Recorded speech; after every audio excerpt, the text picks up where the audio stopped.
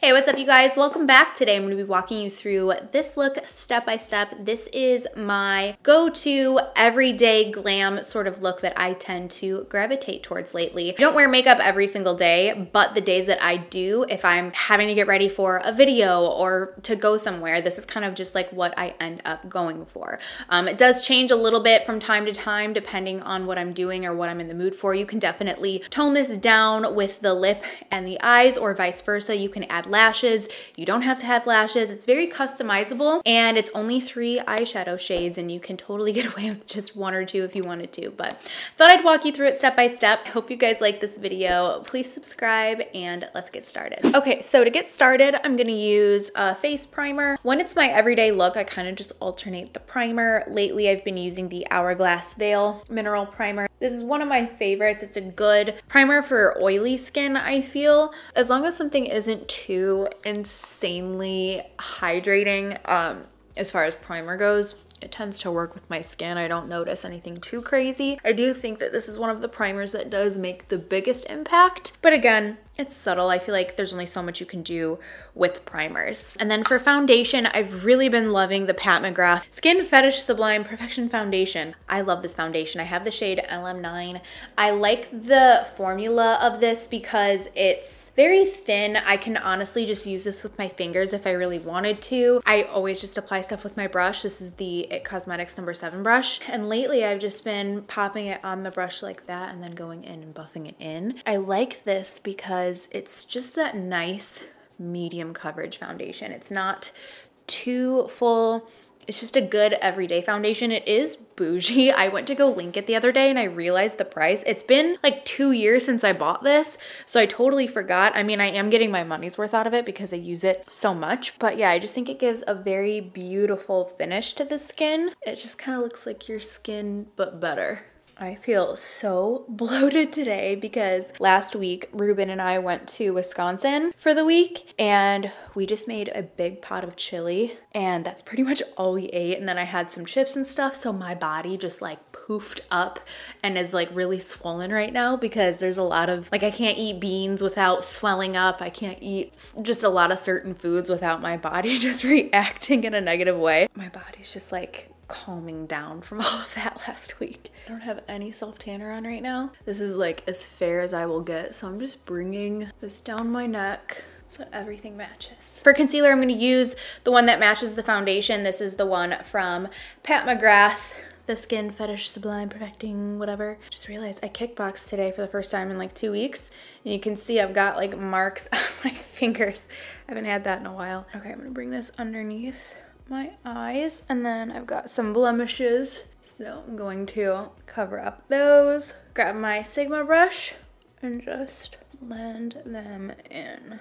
So now that I'm all concealed lately I've been going in with the Chanel cream bronzer. I just really like it. I like the formula. I feel like it goes on really nicely. I do have the, I think it's their lightest one, but I would like to maybe try a little bit darker just to see because this does go more of that like yellowy kind of color. And I've really been liking this Smith brush. It's the Smith 157. It's kind of just like a kabuki kind of style feel to it where it's like it's really dense, but it's angled. It's not like rounded or anything. So it's like the perfect little shape to get in there. So I'm just gonna pick this up on this brush and I'm gonna go a little bit higher and keep it so that that lowest part of the brush is right where I want the lowest part of my contour. So I'm just kind of stippling this on the face. Now, as far as like my everyday look, I won't use this every single day, but I have been using it lately and it is a nice quick product to whip on and look really natural.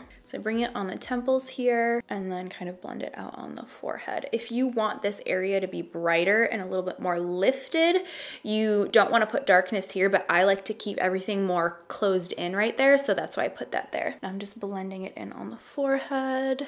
Then I'm gonna bring it down on the jawline. So now that I've got that on, that's just kind of like just a little bit of warmth and just a little base for any other contouring. Um, anytime I'm feeling more bloated, I definitely go in with more contour. So I'm gonna do that today. I'm just using my foundation brush just to go over the edges so I don't have any like harsh lines or anything. But yeah, I just really like that color, especially when I am more fair like right now. I think it works really well with my skin tone. It's not too dramatic. You guys know I love using bronzer and contour and stuff like that. So I do like that this is a little bit softer. It kind of prevents me from going too overboard, even though I'm gonna go in with more product. I'm gonna use my Laura Mercier translucent setting powder and just set my oily areas. So right here is where I get the most oily right on the front of the cheek just like that. The forehead and in between the brows, go over the brows, and then we're nice and powdered. I've been really loving the Hoola bronzer from Benefit. This gives a really nice natural bronze and contour shade for my skin tone. I'm gonna use my contour brush. This is the Smith 112. I'm just gonna pick it up on this and start just intensifying the contour. And I can go in a little bit more of a broad area with this because this works for bronzing and contouring. So I am just going in that angle, doing the sides. And then I always kind of bring it up a little bit just to kind of blend. Once a lot of the product is off the brush just because I don't want a stark contour and then like my white ass face. So I kind of just blend that line as much as I can without like totally erasing what I did. For highlight, I'm gonna use the Charlotte Tilbury Filmstar Bronze and Glow highlighter. I have also been using this for contour too. Sometimes I won't use Hoola. I'll go in with this. Yeah, this is one of my favorite highlighter shades because it's the perfect neutral. Like it's not too icy, it's not too golden for my skin tone but you can apply it in a more light-handed way so it looks just a little bit more like a glow from within or you can really pack it on and intensify the glow. Really, really nice. So I'm just popping this on the cheekbones and then down the nose here with my finger. I'll do the cupid's bow with my finger and then I'll keep this nearby because when I do my eye look, I'm gonna use my face highlighter to highlight the eye look. For blush, I've just been using the KVD Vegan Beauty Honeysuckle Blush. I've been using this like crazy. It's the perfect like neutral peachy brown. It's just beautiful. I'm gonna use my Sigma F40, just apply this on the cheeks. And I did the highlighter underneath because then it kind of like pokes through the blush and looks really, really natural. I'm gonna go in with the Morphe Continuous Setting Mist spray my face with it. Now it's time for my eyebrows. So I'm first gonna start with the Precisely My Brow Pencil from Benefit in shade number three, just to map it out at first. I'm gonna fill it in the majority of the way with this because it is a lighter shade. It'll be easier to intensify. So I'm gonna start with this first. So now that I got that filled in, I think that looks pretty good. I do want to deepen it up a little bit. So I'm to use one of these Too Faced pomade pencils in soft brown. So I'm going to run through this just to give a little bit more depth to my brows, primarily on the outer part. I'm gonna go in with the Too Faced Brow Wig. This is in the color medium brown. And I'm gonna wipe off quite a bit of it because I don't wanna apply like too much. Bring this through the brow. And this actually has like little hair fibers on it. So it almost gives you like a brow extension. It's very, very fascinating, but it will help to make your brows look extra, extra fluffy. Brows are done, face is done. Time to move on to the eyes. I'm gonna use the Jason Wu eyeshadow primer. This has just been my go-to lately. So I'm gonna pick up a little bit of this and just start blending that in. You only need a teeny tiny bit. I do have this in the shade medium. Yes, medium. I can't believe that's the shade I have. Unless they accidentally sent me the wrong shade just because I feel like that's still so light. Setting them with just a little bit of powder, just whatever's left over on this brush actually. And then we can move into eyeshadow. So lately I've been doing a little bit more than usual. Normally I'll just like use a bronzer for an everyday look. But lately I've been going a little bit more glam and using eyeshadow. I've been grabbing my Makeup Geek eyeshadows like crazy. So first I'm gonna go into Creme Brulee from Makeup Geek. Don't forget, I do have my discount code. I'm an affiliate with them, so if you use it, I will get compensated, but it's just Brianna Fox for 10% off. So I really like mixing warm and cool shades together. You'll see that as I go on, but I'm gonna start with the Creme Brulee shade, and this is just gonna go pretty much all over the eye. Start down here on the lid, and then just start working it into the crease. You could honestly do this without a mirror. It's so easy. Okay, I'm switching my brush just to something else that's clean because that one needs to be washed and it's like hurting my eye. So yeah, I just lay down the color first and then start bringing it into the crease. This is a really great neutral for my skin tone. It like almost looks like I'm not wearing anything, but almost gives like a bronzer look to the eyes. So I can actually carry this into the nose over here. I love when everything is very cohesive like that and like works together. And then carry it underneath. Then I'm gonna go into Cheetah Bear from Makeup Geek. This is a little bit warmer. You can see the difference between the first color that we used. So I'm just gonna use that same brush and very lightly start feathering this onto the outer corner. This is a very warm shade and I love mixing warm and cool tone shades together. I feel like that's just kind of lacking in the industry. I feel like there's not a lot of warm and cool palettes mixed together and that's typically how I like to do my makeup is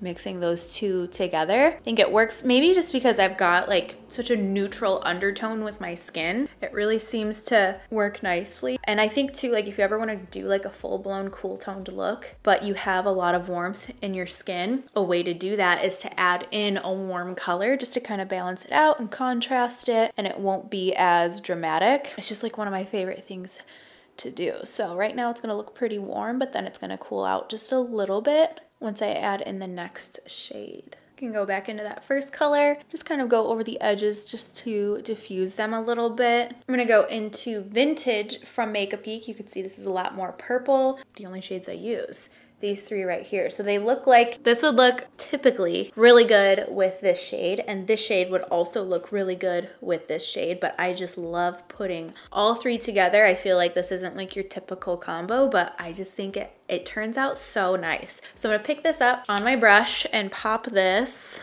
right on the outer corner because it's cooler. It's going to give more of a shadow so it then appears darker and deeper. And then if you ever go too cool, you can always go in with the warm again just to warm it back up and vice versa. If you go in with too much warm, you can go in with the cool and cool it down. It's totally customizable to whatever you're wanting with your look. I'm also gonna bring that underneath. And then for me, that went just a little bit more cool than I want. So I'm just gonna go back into the Cheetah Bear and just tap over it to bring in the warmth. See how that just kind of like Mm, so pretty. Such a pretty color combo. And that's pretty much that for the eye look. I'll actually really quickly just take this first shade, Creme Brulee, and just lightly dust it on the inner lid just to kind of brighten that back up again. Other than that, that's pretty much the eyeshadow, just those three colors. And I did go a little bit smokier today. I can definitely tone this down and go a little bit more natural. But today I just wanted to have fun and use the shades. And this is still to me like an everyday look. I'm not gonna go in with lashes or anything. I'm just gonna keep it plain with mascara, but feel free to add lashes if you want. I'm gonna hop over into my face highlighter with my ring finger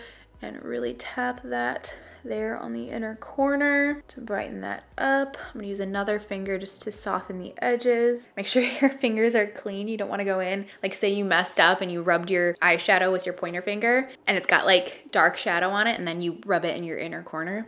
You don't want that because it'll darken that up, but I'm also getting the brow bone. You can go in with any liner for your waterline. I'm gonna go in with the Anastasia Pro Pencil and just whoop, brighten that up. If you wanted to go a little bit smokier, then you could go in with black or brown in there and it would really smoke this up. I like this because it opens up my eyes. I always use a nude liner in there and I just think it makes it a little bit more everyday appropriate or you don't even have to do anything in your waterline. You can just leave it as is, but I think that really nicely contrasts the other shades. I'm going to curl my lashes. I'm using the Makeup Geek Extension Effect Mascara. You can use my discount on this as well. And I'm going to apply two layers of this to each eye. And then I always put some on the bottom. Just think it really helps to open up the eyes and contrast that liner. I just think it really ties that whole look together. Okay, I'm going in with a third layer of mascara. Hopefully it doesn't get clumpy. I feel like this mascara is really nice and buildable and it doesn't end up looking like chunky or anything. I think that looks really good. So time for lipstick. So what am I gonna do? I always switch out whatever nude I'm doing. Of course, I'm always doing a nude. Something light to medium. I kind of stopped doing like really light nudes and I like to stick in the more medium range for my complexion. So Oak is a really good go-to for me. So I'm gonna grab Oak and start off the look with this. This is what it looks like up close. It's a nice neutral brown. It's not too cool or too warm. So just filled in the bottom. I wanna do the top. And then you can grab any darker color just to deepen it up. Um, I'm using Nude 1.5 from KKW. And then I just bring it right here on the cupid's bow, just on the edges. And then in the center, I'm gonna go in with Sierra from Makeup by Mario. I'm gonna start by tapping. Mm, I think I need a little bit more warmth today. I think I'm gonna go into a little bit of Cam, which is just a little bit more orangey. See, it kind of just brings out the peach. Okay, and this is the final look. It's a little bit more dramatic than like a typical everyday look for me, but it's just what I've been gravitating towards lately. I like the simplicity of just doing lashes and having a slightly bolder lip and bolder eyeshadow. Again, like with these shades, I do alter it with the deepness depending on the day. Like sometimes I just won't apply as much just so it goes on a little bit more sheer and not as intense, but I do think that that this is still a pretty wearable look, but yet at the same time, it's really glam. So I feel like you can also wear this to like a special event or something like that. But yeah, I hope you guys enjoyed seeing this look, enjoyed me walking you through it step by step. Please let me know what other looks or videos you'd like to see. I feel like we are already starting to go into the holiday season. So let me know what you want to see from me, whether it's makeup related or not. I kind of have my calendar already set, but I can alter things depending on what you guys want to see. So yeah, thank you guys so much for watching. Please subscribe and I will see you soon. Bye.